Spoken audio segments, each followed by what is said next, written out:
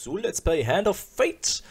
Und wir sind gerade direkt im Kampf bei der Verteidigung des Landrattennests, ja, mit äh, in der Kneipe von Carlo, unserem guten Freund, und werden gerade von Magiern angegriffen, die es irgendwie nicht so geil finden, dass wir uns mit dieser Sache mit den Kraken befassen, infolge dieser ähm, Questreihe.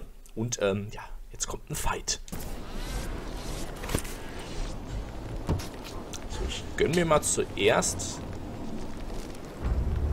die mh, Kämpfer rechts. Oh, au, warum wir denn nicht... Au! Fickt euch, ihr Penner. Konnten wir gar nicht ausweichen. Und man hat hier keine Schilde. Das macht das Kämpfen leichter. Wow. Wir in diesem Bereich offensichtlich bleiben.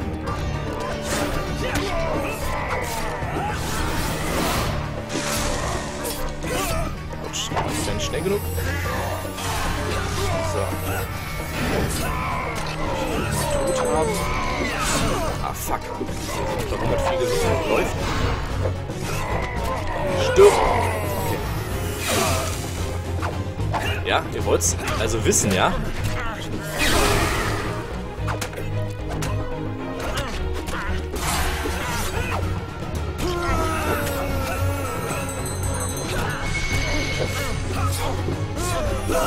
Das war nicht so gut.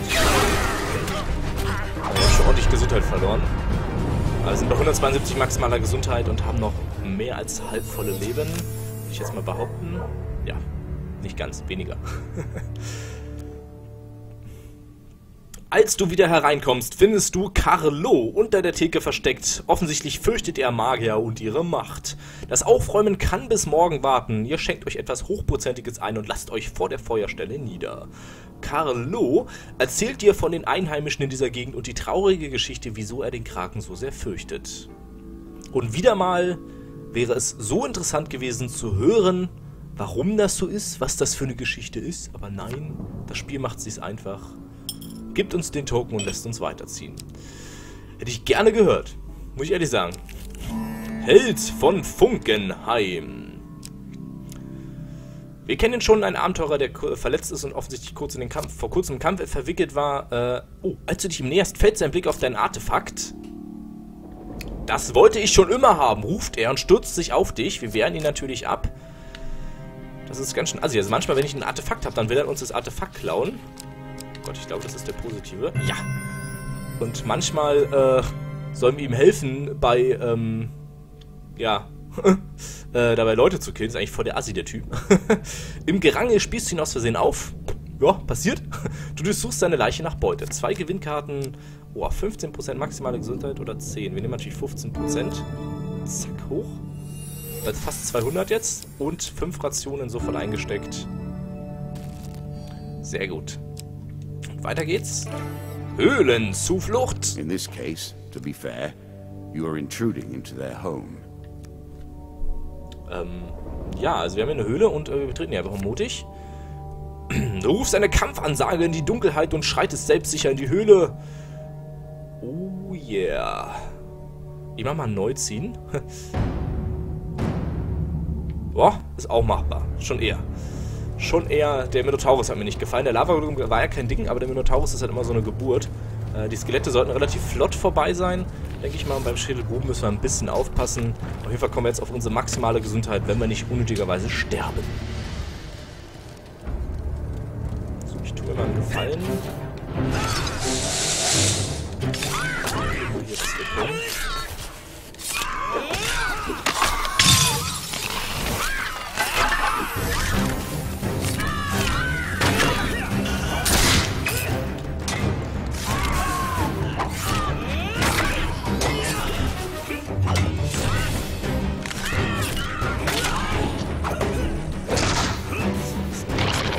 Schütze. Boah, stimmt, die stehen ja auf. Fuck. Ganz vergessen. Der Schädelbube kann die ja auferstehen lassen. Okay, mein Freund. Kriegst du jetzt erstmal als erster aufs Maul. Aua. Ich dachte, das reicht jetzt ausreichend. Okay, das war der Schädelbube. Das Problem geklärt. Ich muss einen Haufen Gegner killen hier. Alter Verwalter.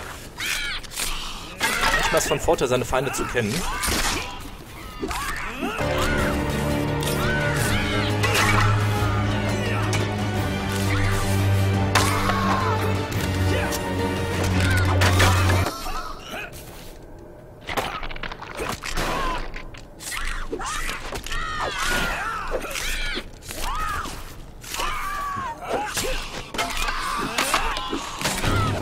Drei hintereinander mit einem Schlag. Sehr geil. 200 Gesundheit.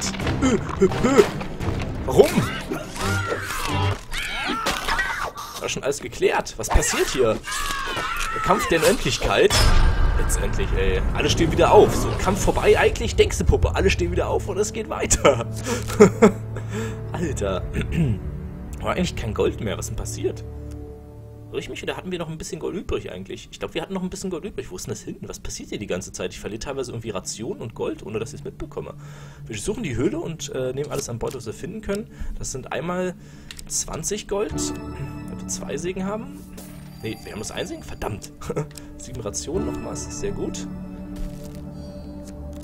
Und nochmal 30 Gold. Bei 40 Gold, okay. Die ist wahrscheinlich der Ausgang, dachte ich mir. Und wir gehen aber auf jeden Fall nochmal ins Labyrinth der Fallen. Letztes Mal haben wir das ja vergeigt. Head downwards, you fuck! Nein, ich habe mich verklickt! Nein! Ach, verdammt! Aber verlieren 5 maximale Gesundheit, ist okay, das ist nicht so schlimm. Ach shit, ich wollte es gar nicht machen. Das war voll un- aus Versehen. You are das, my most persistent foe. Here it ends. Hier it ends, heißt es hier ist wirklich dann das letzte Gebiet schon? Oder heißt es, dass es einfach allgemein jetzt hier endet? Ist auch egal. Äh, in einem schattigen Hain ist ein Händler und wir gehen hin und schauen mal ganz kurz.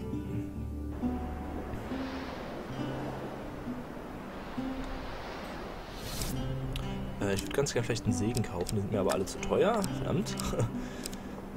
Psyche entfernen ist natürlich auch teuer, aber Zeitverzerrung ist aber geil. Das möchte ich gerne behalten. Alle sind 20% schneller und machen 50% mehr Damage. Das ist ganz nice, weil ich dadurch ja auch mehr Schaden mache. Ähm, jetzt verkaufen, dann würde ich wahrscheinlich doch Ration kaufen. Brauchen wir auch nicht so eilig.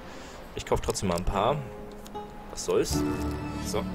I'm sure you're grateful for that. Und dann haben wir auf jeden Fall erstmal genug. Je nachdem, wie lange das jetzt auch geht, ist ja auch nicht wichtig. Und wir gucken uns vielleicht... Ähm, ja, die Frage, welche Richtung gehen wir jetzt? Äh, ich glaube, wir gehen einfach weiter in die Richtung, die wir schon gegangen sind. Das ist ein Plan. Rattenmenschen Jagd. Kann ich den aus dem Weg gehen? Nee, wa? Pestdame und Pestratten. Ich zieh mal neu. Schwinn. Schädelkönig. Okay, da müssen wir auf jeden Fall erstmal den Schädelkönig klar machen, weil der war auch ein bisschen ungeil. Müssen wir mal schauen. Vielleicht wäre auch die, die Sache mit den Ratten besser gewesen. Kann man sich jetzt streiten? Ich hätte auch ganz gerne mal das Skelettschädel, äh, Skelettkönigsschild wieder. Das ist nämlich ziemlich porno. Oh, der macht garantiert was der Laser. Alter, Alter, Alter, Laser. Das ist viel zu voll gerade, ne? Alter. Ich bin tot! Was ist da passiert? Der hat 34 Damage gemacht! Was ist da passiert? Wieso? Warum? 34 Damage! And with an artifact unused. Hat er gerade gelacht, der Wichser? Ich bring ihn um! Your weapon has powers, yet you haven't used them. Ja, weil mich das Rationen kostet. Ich hasse diesen Wichser. Ich hasse ihn. Entschuldigung, aber er ist so ein Arschloch. Er ist voll das Arschloch. So, der lacht und dann sagt er mir, was ich falsch gemacht habe. Und das ist so herablassend. Ich bring ihn um. Entschuldigung. Also, wir haben zumindest geschafft. Dafür, dass du Neuigkeiten des Beuteschneiders gehört hast, erhalten wir die Krakensekte. Okay. Also eben diese äh, äh, Schuppenechsen, die die Kraken anbieten, haben wir schon mal gehört. Ähm, für die Aktion mit dem dunklen Kristall erhalten wir 30 Gold und die Karte Seelenjuwel. Ist aber keine mit einem Token. Bin ich gespannt. Und für diese Aktion hier, wo wir das Landrattennest verteidigt haben, erhalten wir Landrattennest Kapitel 4, Geist des Meeres. Freundlich aus. Und hilft den Einheimischen. Sehr, sehr geil. Haufen neue Karten. Und wir mischen nochmal ganz kurz neu zusammen. Ah, ist das ärgerlich. Es lief so gut und dann kriegen wir einfach mal so dermaßen auf die Fresse. Das habe ich ja gar nicht kommen sehen. Alter, ist das ärgerlich. So, ich will immer noch nicht automatisch machen. Das hat sich nicht geändert seit dem letzten Mal. So, wir haben jetzt drei neue Karten. Die kommen natürlich alle mit ins Deck rein und schmeißen dafür mal ein bisschen was Altes raus. Ich glaube, wir mal die Rattenaktion raus. Weil die Rattenaktion... Was war das hier nochmal? So, müssen wir ihn verteidigen, irgendwelche Höllenviecher. Äh, ja, kann ich auch raus. Und davon nehmen wir nochmal einen Rattenmenschenjagd raus. Das reduziert die Wahrscheinlichkeit, weil das mit dem Gift schon echt ärgerlich ist. Und, ähm... Ja, passt. Und Ausrüstung haben wir doch auch ein bisschen was Neues gehabt. Oder irre ich mich? Irgendwas Neues war doch dabei. Mal gucken? Ja, irre ich mich. Ich bin mir nicht sicher. Nee, ist nichts Neues. Aber da war noch eine Karte. Warte mal, da war noch eine neue Karte, die kein Token hatte, oder? Irre ich mich da jetzt?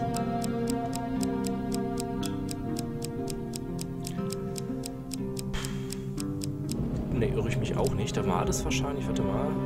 Ach, die hat er ja automatisch auch teilweise schon reingebracht. Okay.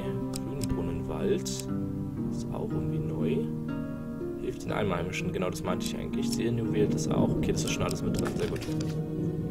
So, Kinders, äh, die Folge ist dann heute ein bisschen kürzer. Die gestern war ja dafür ein bisschen länger. Äh, morgen versuchen wir es nochmal gegen den Schuppenkönig. Und ich hoffe, wir scheitern nicht schon wieder auf dem Weg. Ist einfach super ärgerlich immer, aber ähm, ja, mal gucken. Vielleicht kriegen wir es hin. Ich hoffe es. Bis dahin, haut rein.